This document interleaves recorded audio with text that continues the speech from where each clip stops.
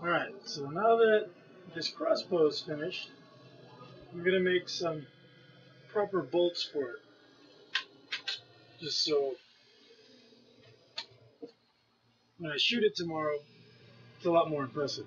So what I've done is I've taken a a dowel. This is a poplar dowel, 5 16ths of an inch. You can use oak or ash or something a little heavier. That'll make your bolts a little heavier. But even if, even at a very heavy weight, this smaller diameter shaft will hold up in this crossbow because the power stroke is so short. It's only about a 12 inch power stroke. So what we're going to do is I've marked at 18 inches because the the length from the back here to the front is 16 inches. 18 inches will let it overhang about 2 inches. That will give us a good amount of uh, space, especially if you wanted to put a broadhead on here. You could still put it on this crossbow.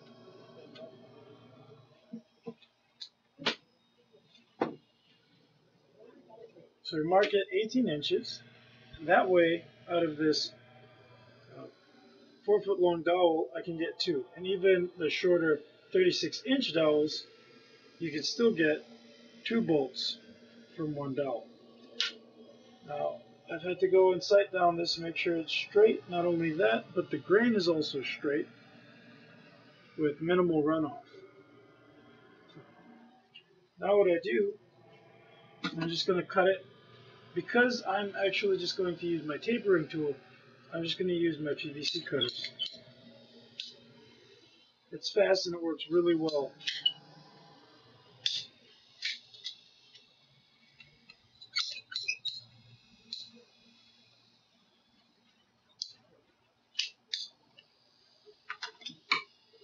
There you go.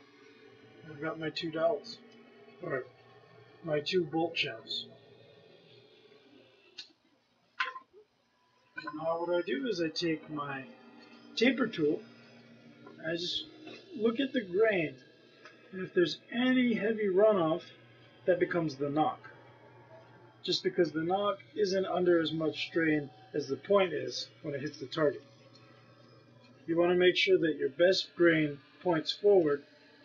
That way, when this strikes the target repeatedly or hits something hard, the shaft isn't going to break. It'll be able to flex and return.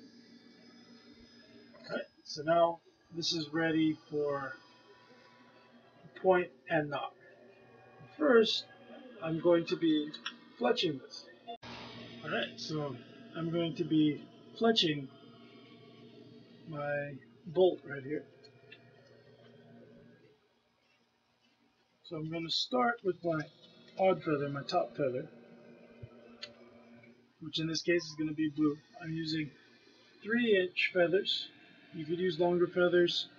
I'm using the shorter ones uh, just because that's all I really have on hand. And because the whole bolt is so short, it's only 18 inches long, it doesn't have to really be that long.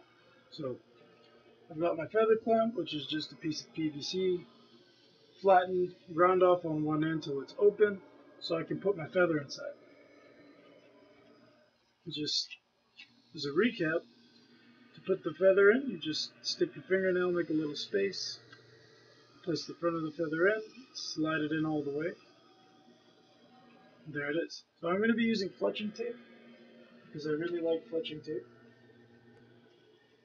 And if I break an arrow or a bolt or anything really. If I break an arrow, I can always retrieve the feathers and just pull it right off.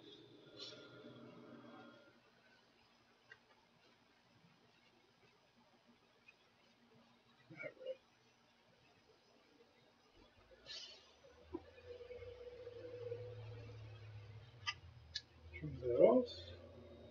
And I take the back of my knife and I just press this down. It's kind of like contact adhesive. And you just go and you want to find an end here. You can peel off the backing. Peel the backing off, throw it away. Take the bolt. And then just want to go ahead I like going an inch away from the end here, so an inch away from the end. Just place it down straight. Or if you want to put a little bit of a twist to it, you can.